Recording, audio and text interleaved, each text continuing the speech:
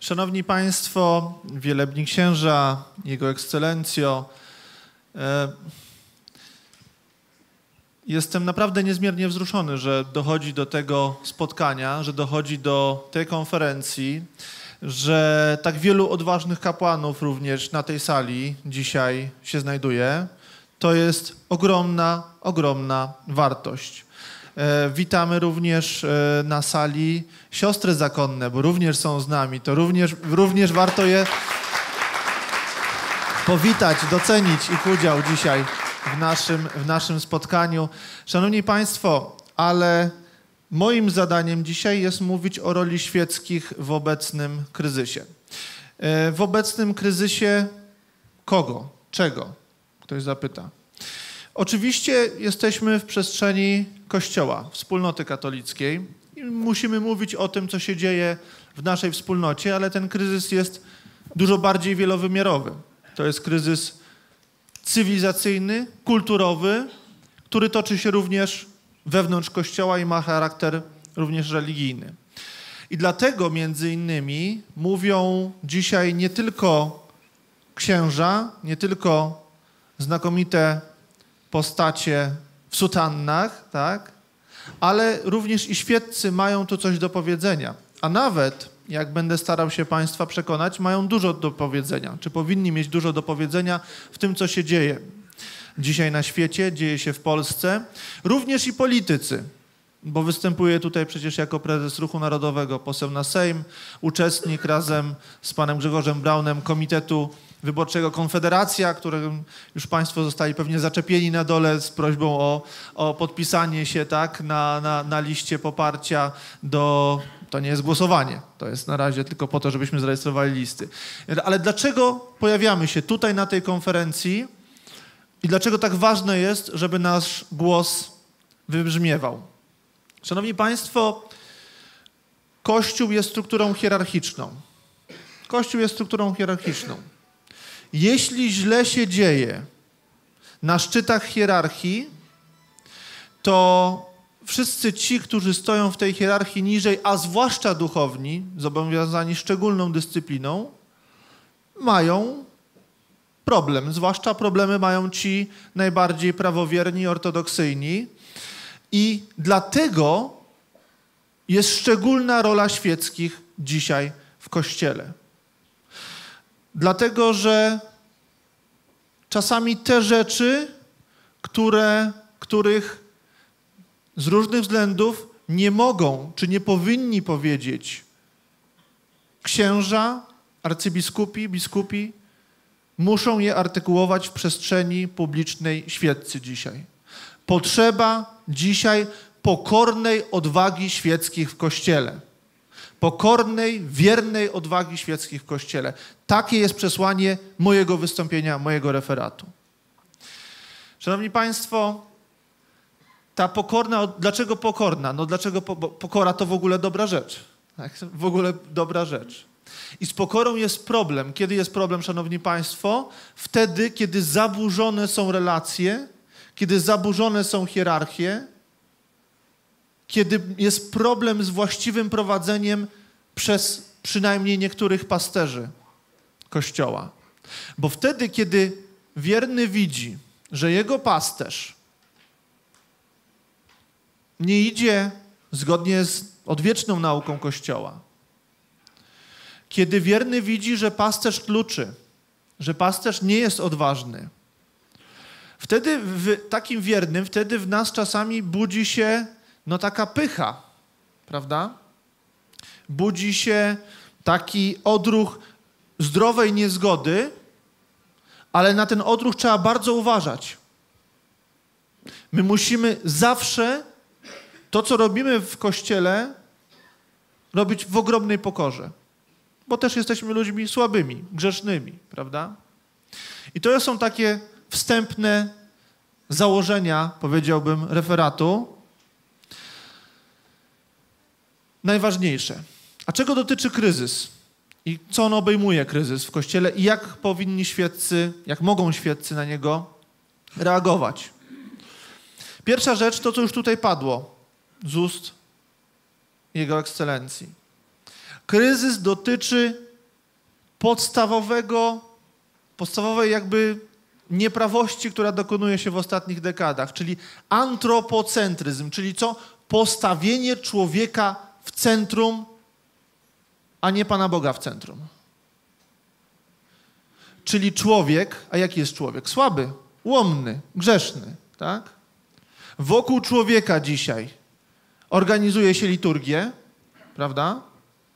Czyli ten człowiek, który przychodzi na liturgię, ma być zadowolony, ma być, prawda? Nie on ma przychodzić i służyć niejako, w radości również. Przecież nie chodzi o to, żebyśmy z ponurymi minami wchodzili do kościoła, tak? To jest pierwsza rzecz. Więc liturgia. Ale i doktryna przecież. Ale i doktryna, i moralność. E, karierę robi słowo w ostatnich tygodniach, miesiącach, latach w kościele rozeznawanie. Ale jak słyszę, jak słyszę że, że jakiś ksiądz nie może wypowiedzieć jednoznacznej opinii na dany temat, szczerze rozeznają. Rozeznaje. To rozeznawanie trwa i trwa, bo przecież nie ma stałej doktryny, tylko zmieniające się okoliczności. Zmieniające się okoliczności to dotyczy nie tylko życia przecież prywatnego, nie tylko relacji, nie wiem, na spowiedzi czy, czy, czy w, w, w kazaniu. To dotyczy życia publicznego. Bo jeśli ja się pytam rzecznika archidiecezji, dlaczego nie ma stanowiska biskupów w sprawie karty LGBT. Od dwóch tygodni nie ma stanowiska biskupów w sprawie warszawskiej karty LGBT. To słyszę, że sprawa jest rozeznawana. Ja się pytam, a co tu rozeznawać? A co tu rozeznawać?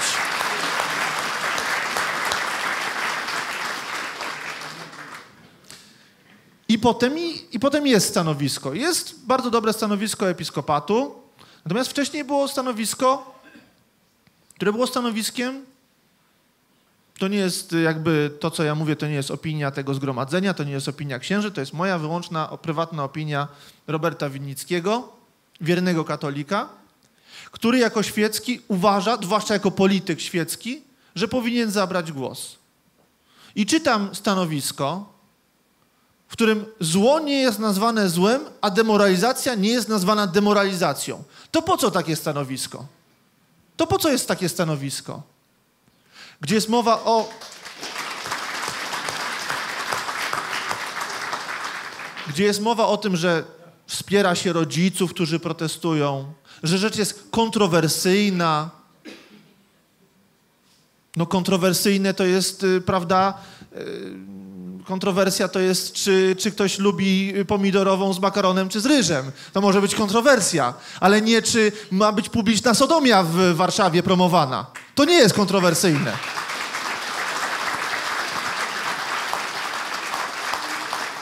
Oho, mowa nienawiści. Proszę Państwa, Szanowni Państwo. E, I dlatego, i dlatego uważam, że rola świeckich jest duża. Bo oczywiście no, nie jest tak, że teraz księża z archidiecezji będą pytali publicznie o te rzeczy arcybiskupa, bo wiadomo, jak to się skończy. Wiadomo, jak się skończy. Ale już świecki Winnicki, czy inny, Kowalski, czy Nowak, może i powinien. I powinniśmy zadawać pokorne pytania do naszych duszpasterzy i pasterzy. O wykładnię, o naukę, o jasną, prostą i czytelną. Mamy prawo się pytać, tak jak spytałem się na jesieni ubiegłego roku, po mszy dziękczynnej za rządy Hanny Gronkiewicz-Walc w warszawskim ratuszu zapytałem, a co z profesorem Hazanem odwoływanym przez tą e, Hannę Gronkiewicz-Walc i co z nauką na temat życia poczętego? A co z teatrami publicznymi warszawskimi pod zarządem samorządu, w których były bluźnierstwa? Czy za to też jest ta dziękczynna msza? Co z wystawianą przez samorząd miasta e, tęczą dewiacyjną na placu Zbawiciela przed kościołem Najświętszego Zbawiciela. Czy to, za to też była odprawiana ta msza dziękczynna? No mamy prawo, więcej, mamy jako świeccy obowiązek pytać. Mamy jako świeccy obowiązek działać. Mamy to prawo. W pokorze, nie poza Kościołem, nie dać się wypnąć z Kościoła, w Kościele, zgodnie z naszą, z naszą wiarą, z naszą ortodoksją, z tym, co było zawsze, nie z tym, co przemija, nie z tym, co jest chwilową opinią. Od chwilowych opinii to są komentatorzy w mediach. My nie oczekujemy od naszych pasterzy chwilowych opinii. My oczekujemy i powinniśmy. I to nie jest oczekiwanie na zasadzie kaprysu. O, ja mam taki kaprys. Bym chciał, żeby ksiądz, dany biskup czy arcybiskup nauczał niezmienną naukę. Nie, to jest akurat jego obowiązek. Ja mam pełne prawo o to prosić, pytać. Mam, mamy pełny, pełne do tego prawo. Szanowni Państwo, to jest pierwsze, pierwsza rzecz. Zabierać głos. Zabierać głos. Oczywiście to zabieranie głosu musi być, e, żyjemy w przestrzeni bardzo wielu z, z Państwa, przecież też przestrzeni internetowej. No, Radio Chrystusa Króla internetowe, tak, które zwołuje tutaj ten, to spotkanie, ten, ten kongres. Musimy... Nie tylko internetowe, oczywiście, oczywiście. Y, przepraszam, nie mieszkam na co dzień w Chicago i tak jest. Panie oczywiście. Robercie, w Stanach od tak można koncesję dostać, to nie Polska. Tak jest. E, przepraszam, ale no, duża część jednak czerpie, prawda, z, z internetu słuchaczy, e, czy dowiaduje się tych treści. E, I proszę Państwa, w internecie internet jest bardzo egalitarny. Co znaczy egalitarny? No jest bardzo taki wyrównany, równościowy, każdy może zamieścić komentarz. Niestety to sprawia, że bardzo często nam się e, ta poprzeczka jakości tych komentarzy się obniża. Internet jest zalewany przez falę, e, falę hamstwa po prostu, tak? Po prostu powiedzmy falę hamstwa. Wszystko, wszystko co najlepsze można tam znaleźć, wszystko co najgorsze. I musimy się tego bardzo wystrzegać. Nie możemy sobie pozwolić na to, że będąc anonimowy w internecie, możemy da dawać upust emocjom, które nie są chrześcijańskie, tak?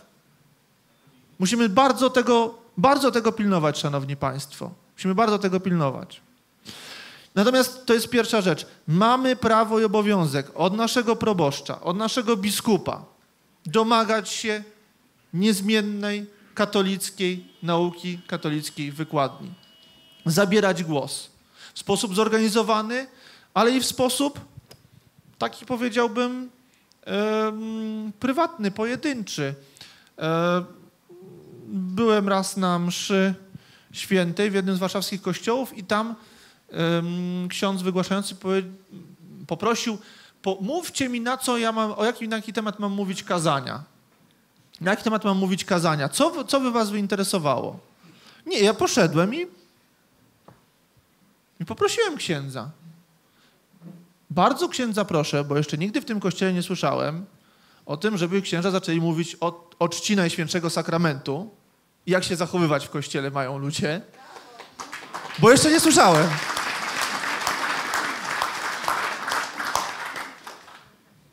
Bo nawet ministranci bo biega, biegają po prezbiterium jak, e, prawda, e, jak, jak po, po, po boisku do piłki nożnej, tak? Więc ja bardzo o to proszę. I jeszcze parę innych rzeczy. Ksiądz był zdumiony, że w ogóle ktoś przyszedł, ale yy, chyba coś do niego trafiło. I potem usłyszałem to na kazaniu. Potem usłyszałem na kazaniu. To działa, proszę Państwa, to po prostu trzeba robić. Pokornie. Tak, jak się to przynależy, tak? Ale zdecydowanie. Szanowni Państwo, drugi obszar działania świeckich to jest kwestia wychowania i kwestia. Mm, I kwestia, powiedziałbym, męskości w kościele. Z całym szacunkiem dla wszystkich nadobnych pań, które tutaj się dzisiaj zgromadziły również w niemałej liczbie. Mamy taki problem w kościele, że nam kościół nie wieścieje i dziecinnieje. Mamy taki problem że nam Kościół nie wieścieje i dziecinieje i zaraz już powiem o co chodzi z tym, z tym, z tym niewieścieniem. No, Chodzi o to, że, a, że bardzo często uciera się taki, taki model działania również mężczyzn w kościele, e, który, gdzie standard, powiedziałbym, zachowania jest e, no, taki niemęski. Gdzie, mm, gdzie dominacja również w różnych wspólnotach czyn, czynnika żeńskiego i pierwiastka i brak, ja zawsze to ceniłem sobie na Śląsku, wiecie Państwo, że tam na przykład mężczyźni śpiewają w kościele, tak? a nie takie milczki, milczki kruchciane, jak ja to zawsze mówię, tak? W, gdzie tam jest duszpasterstwo, tam jest pielgrzymka mężczyzn i to jest duży problem dzisiaj w kościele. Duży problem, dotykający również mężczyzn w kościele. Bardzo często kazania są kierowane zupełnie nie do mężczyzn. Są wyłącznie do nieco bardziej emocjonalnych kobiet skierowane, tak? Nie, wyłącznie na y, granie na, na, na sercu, tak? Kwestia serca, bardzo ważne. Ale nie tylko. Wola, silna wola, tak? kształtowanie tego, takich postaw. Panie pośle, przepraszam, Tak. muszę na sekundkę przerwać, mamy taki problem techniczny. Bardzo byśmy prosili o przestawienie Audi A3 SC3701T, ponieważ zostawia przejazd i zaraz nasze dzielne służby się po prostu tym Audi zajmą. Tak więc powtarzam, SC3701T, Audi A3. Tak, to ważna sprawa, bo ktoś potem Bardzo. dojedzie do domu. Szanowni Państwo, e, kwestia wychowawcza. Kwestia e, również dotykająca niestety e, duchowieństwo, tak? Czyli brak jasnych, precyzyjnych wskazań. Brak kazań, które są o czymś. Brak kazań, które są o czymś, dotykają jakichś realnych problemów, a nie przypowiastek, opowiastek. Prawda? No ileż tego słyszymy e, e, bardzo często. E, Takie, takie krążenie dookoła tematów. Wiecie Państwo, ja księdza arcybiskupa Lęgę poznałem w 2016 roku, zupełnie przez przypadek, nie ma przypadku, w Licheniu.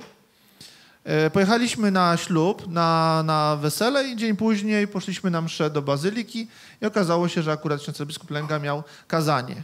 Ja wiem, ze 45 minut mówił.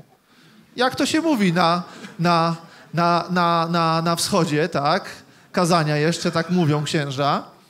Y, Ale proszę Państwa, przez ani mi, pół minuty człowiek się nie nudził. To nie było, że nikt nie, nie spał w tej bazylice na tym kazaniu. Prostym językiem, dosadnym, konkretnym, w miłości po Bożemu, kazanie, które jest o czymś. O życiu, o rodzinie, o emigracji, o Polsce, o Polakach, o Kościele. Tyle wątków przez 45 minut. I ani jedne przez na chwilę nikt nie złożył oka. Chciejmy tego od księży. Teraz, I teraz już dwa i pół lata nie mam e, mszy świętych w tej bazylice. Skazali. No niestety. No niestety. No niestety. Wymagajmy tego od naszych księży. Wymagajmy tego i prośmy o to naszych księży, żeby mówili o rodzinie, żeby mówili o modlitwie, żeby mówili o konkrecie. Żeby mówili o konkretach, a nie błąkali się po całej czasoprzestrzeni i, i po prostu tylko i wyłącznie opowiastki, które są miłe, nikogo nie dotkną, nikogo nie, nie urażą, są takim prześlizgiwaniem się po tematach. Proszę Państwa, e, co jest istotne? E, Istotne jest, żebyśmy naszą aktywność, obecność w Kościele potrafili jako świeccy przełożyć na język takiego konkretu organizacyjnego.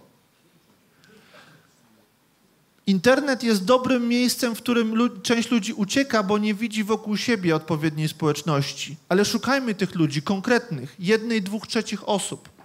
To jest ta przestrzeń, w której my świeccy możemy działać. To jest ta przestrzeń, w której możemy wyławiać pojedyncze osoby.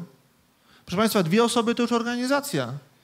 Dwie osoby to już organizacja. Niech, niech, nikt nie czuje się samotny. Jeśli nie ma wokół was fizycznie w przestrzeni drugiej osoby, to dobrze, to, to, to, to bądźcie w internecie, ale szukajcie w parafii lokalnie, dwie, trzy, cztery osoby. Tworzcie takie grupy. To jest bardzo istotne, żeby szukać bezpośredniej bliskości. Tam organizować ludzi. Szanowni Państwo, konkretna, konkretna praca w kościele to praca nad charakterem. To praca nad charakterem. Że ktoś jest pobożny, głęboko wierzący, bardzo dobrze, fundamentalny, ale mało.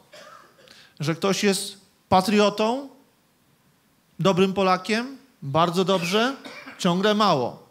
Że ktoś jest oczytany, wie, co się dzieje na świecie, rozumie różne procesy, bardzo dobrze, ciągle mało. Ciągle mało. Wiecie Państwo, co jest bardzo dużym problemem naszym, zwłaszcza jako Polaków? To, że ten pobożny, patriotyczny, mądry człowiek nie potrafi współpracować z innymi. Nie potrafi współpracować z innymi, bo często jest tak pobożny, tak patriotyczny i tak mądry, że nikogo nie szanuje, tylko jego zdanie się liczy. Tylko jest własne ja. W takiej, rzeczy, w takiej żyjemy rzeczywistości, szanowni państwo. I to zwłaszcza najmłodsze pokolenie żyje w takiej rzeczywistości. Tylko selfie do telefonu, ja, ja, ja, ja, ja. Tak? Na każdym kroku.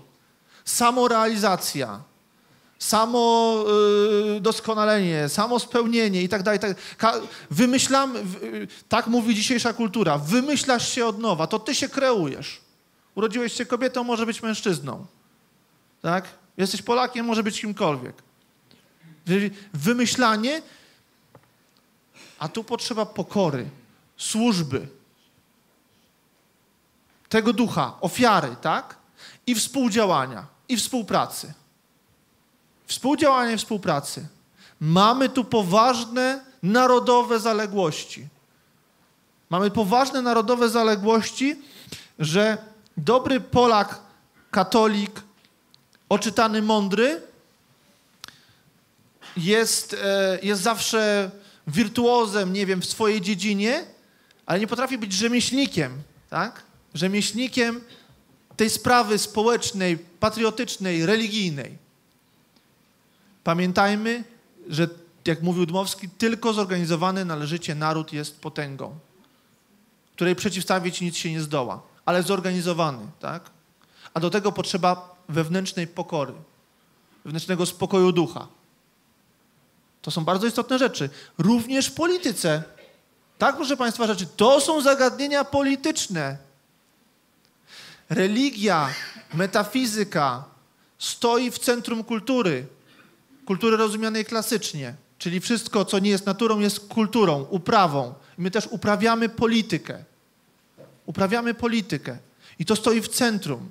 jeśli ludzie rozchwiani przychodzą do polityki, ludzie nieuporządkowani, to nawet jeśli oni będą posługiwali się frazesem patriotycznym, katolickim, jakimkolwiek, a będą charakterologicznie nieuporządkowani, rozchwiani, to nic z nich nie będzie to nic z nich nie będzie. E, proszę Państwa, co trzeba robić jako świeccy? Szkoły robić. Robić szkoły.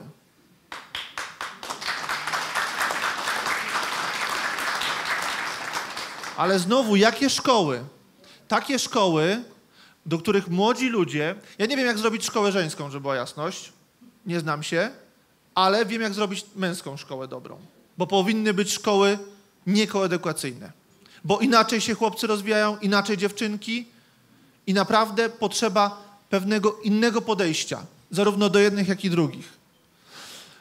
A szkoła męska, proszę Państwa, średnia, powinna być dobra, katolicka, patriotyczna, narodowa, powinna być taka, i to, i to idą takie czasy, Szanowni Państwo, że to wyłącznie szkoły elitarne będą, skupiające małą bardzo część. Ale muszą być, bo z tej właśnie części to mają być elity. To ma być szkoła od poniedziałku do piątku z internatem. To ma być integralne wychowanie. Bo wiecie Państwo, teraz jak trafiają młodzi ludzie do struktur narodowych, do struktur Młodzieży Wszechpolskiej, Ruchu Narodowego, czy innych struktur narodowych, problem jest taki. Oni bardzo często żyją dwudziestoleciem międzywojennym, tym pokoleniem Kolumbów, tym pokoleniem, które jakby tak świetne świadectwo dało w czasie II wojny światowej. Tylko, że to, te pokolenia wychodziły ze, z rodziny, ze szkoły i z kościoła, powiedziałbym, wy, z, takiego, z takiej rodziny, z takiej szkoły, z takiego kościoła, że wychodzili stamtąd wyprostowani. Nie tylko pod względem pobożności, patriotyzmu, ale też i charakteru. Wyprostowani. Ludzie konkretni, zdolni, dobrze uformowani. A dzisiaj, kiedy przychodzą ci ludzie młodzi i mam z nimi spotkania, mówię, jest dużym prawdopodobieństwem, bo nie znam przecież wszystkich po imieniu, ale koleżanki i koledzy z dużym prawdopodobieństwem, wy, my pochodzimy z rodziny, ze szkoły, a nawet i z parafii, z kościoła, które nie wypuściło nas w sposób wyprostowany w życie. I teraz to w tej strukturze, to ta struktura musi was, wam dać narzędzia, żeby na nowo się ukształtować, tak? Ogromne wyzwania, ogromne zadania, ogromne, ogromna przestrzeń do, e, do działania. Szanowni Państwo, możecie powiedzieć, no przyszedł polityk i, i o czym on opowiada? O szkole, o kościele, o księżach, o kazaniach. Tak, właśnie o tym opowiadam i właśnie dlatego nie będę się koncentrował dzisiaj na tym, nie wiem, co Kaczyński, a co Tusk, a co ten, a co tamten, bo to nie jest rdzeń, to nie jest istota sprawy dzisiaj w Polsce. To nie jest istota sprawy, czy pan prezes Kaczyński dzisiaj ponownie powie, że będzie bronił dzieci i rodziny, bo dobrze wiemy, że i tak pojutrze w TVP o 20 poleci serial, w którym będą promowane homozwiązki. Więc jaki to ma, więc jakie znaczenie mają te słowa? Skoro jedno się mówi, a drugie się robi. To jest fundamentalny bój, bój o kulturę. I właśnie ta ostatnia rzecz, którą chciałem powiedzieć na temat roli świeckich. O kulturę. Szanowni Państwo, w tym, w tym szczególnym momencie, kiedy ta homoofensywa, ofensywa LGBT, dewiacyjna, nasila się w Polsce, kiedy pan rabi otwartym tekstem mówi o adopcji dzieci, czy to było do przewidzenia? Oczywiście, że było do przewidzenia. Oczywiście, że robią dokładnie to, co jak mówiliśmy o tym 15 lat temu, to wszyscy pukali się w głowie. No gdzie? W Polsce. Tak, w Polsce. Że wchodzą tęczowe piątki, że są parady i tak dalej, że jest tęcza. Ale to wszystko nie jest klucz sprawy. Wiecie Państwo, gdzie się rozgrywa klucz sprawy?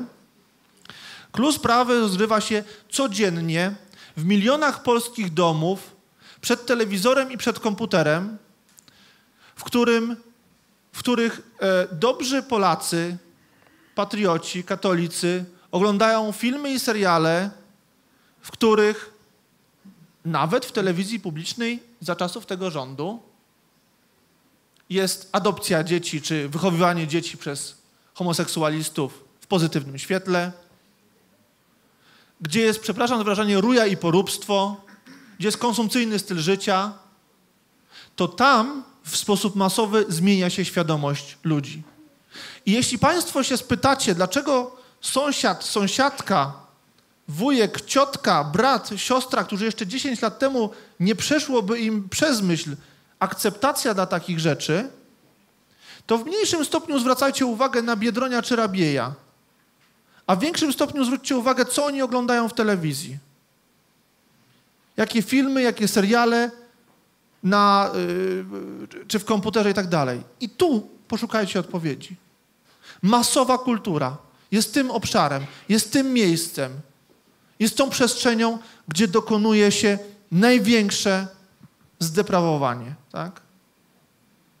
I to nic z tego, że w tych rodzinach nikt by sobie nie wyobrażał takich, takich rzeczy. Prywatnie nie, ale już w sferze publicznej następuje oswajanie, Następuje oswajanie z konkretnymi rzeczami, z konkretnymi zjawiskami. Tak to wygląda. Także jeśli ktoś dzisiaj mi mówi, że będzie walczył z rabiejem z rządu, super, niech walczy z rabiejem. Ale niech najpierw spojrzy, co jest, co jest w szkołach, co się dzieje, w programach y, telewizyjnych, za które oni odpowiadają. Co tam się dzieje? Co tam się dzieje? Szanowni Państwo, porządkując. Pokora, męstwo, przynależne dzisiaj właściwe dużo częściej kobietom niż mężczyznom. Dbajmy o męstwo mężczyzn w kościele. Dbajmy o to, szanowni państwo. Dbajmy o to. Nie, nie, nie ugrzeczniajmy na, za bardzo, za bardzo e, mężczyzn w kościele do standardów, powiedziałbym, dziewczęcych, tak? Wychowanie, kultura, wspieranie duszpasterzy. Wspieranie duszpasterzy mądre i szukanie mądrych duszpasterzy. Pokazujmy tym duszpasterzom, którzy są prawowierni, ortodoksyjni, że w tym czasie próby, który niewątpliwie Kościół przechodzi, my, katolicy, pobożni, wierzący, zdroworozsądkowi, jesteśmy dla nich świeccy, jesteśmy dla nich fundamentalną podporą. Dziękuję. Szczęść Boże.